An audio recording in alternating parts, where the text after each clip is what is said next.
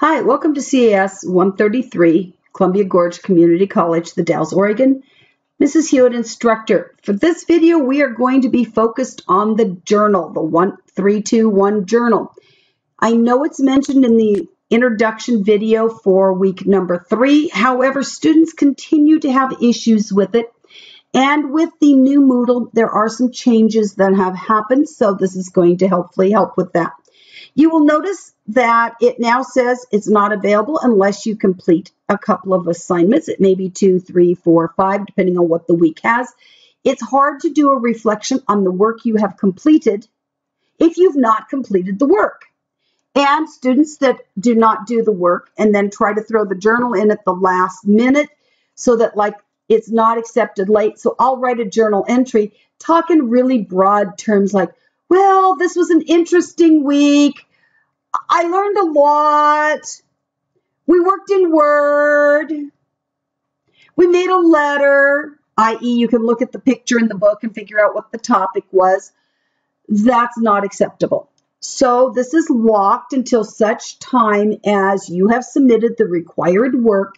And then once you've submitted the required work, the link will magically open and you can get in here. Now, there's some directions to be followed that sometimes people seem to not review or not remember, so we will go over them again. You are to have at least 150 words. That is the minimum of minimums. More is better, up to a reasonable point. Somewhere in the 150 to maybe even 300 would be a good range. Anything much over that, you're talking too much.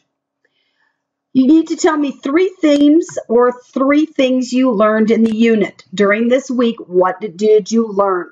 Now, obviously, if we're focused on textbook, textbook projects, that's going to be the big focus. Tell me two ways you're going to use this. Not general, broad, well, someday when I get a job in an office, I might need this.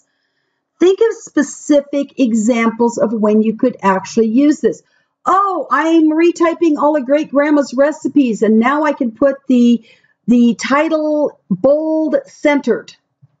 Perfect use, great. Or I'm taking writing 121 and we have to write a research paper. I've never known what the MLA format was and now I can use it. Perfect. Great information.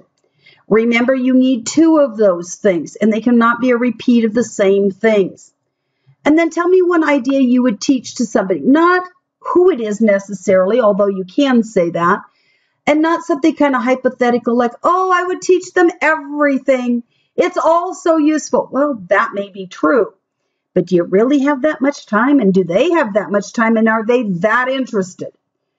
Oh, um, I'm working with a lady at work where she's trying to set up a menu every week and she just kind of like uses the space bar, thunk, thunk, thunk, thunk, thunk, to get everything centered. And it's always a scrambled mess when any of the rest of us try to open it.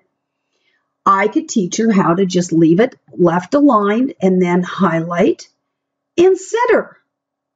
Perfect use of teaching that skill. Not only would it avoid everybody getting this mess, I'm sure it would make her life a whole lot easier as well. That would be a specific example of something you could teach. And it would be a fairly quick and easy thing to teach, but would make a difference. Then the idea of making each question into a paragraph with at least one line sign spacing. So I've done up an example for you. And in this example, you'll notice the first thing is said, then secondly, I learned, and thirdly, I learned. So there are the three, so they're easy to spot. I will probably use what I've learned. I could teach. And the big thing is you can just hit right there and you can see how many words. So this one has 182 words.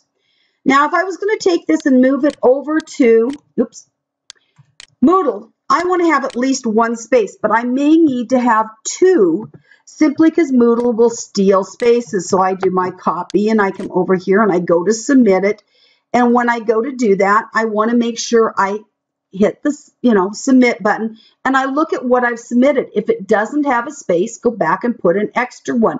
or just always put two spaces in. It's okay if it has an extra one.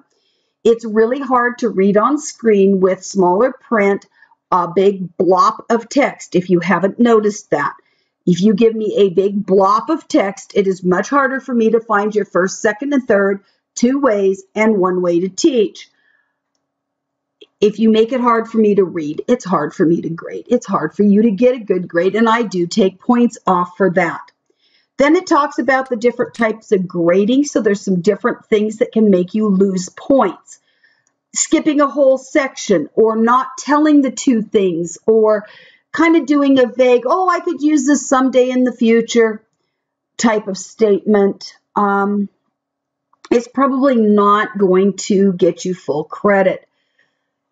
If you get less than 14 points, you have a failing grade. Those don't happen too often, but it can. It's usually a combination of too short, blob of text, skipped areas, maybe poorly written with grammatical capital spelling errors all over in it, and all the points kind of just add up together.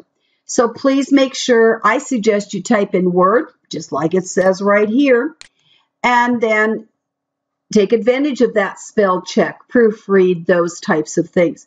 Hopefully this will help you do better with your points. Make sure that you have completed the work before you attempt to open the link. If you send me an email that says, I can't get the link to open, I will send you an email back telling you to watch this video because obviously you have not completed the work. So hopefully this helps and off you go with journals for the rest of the term.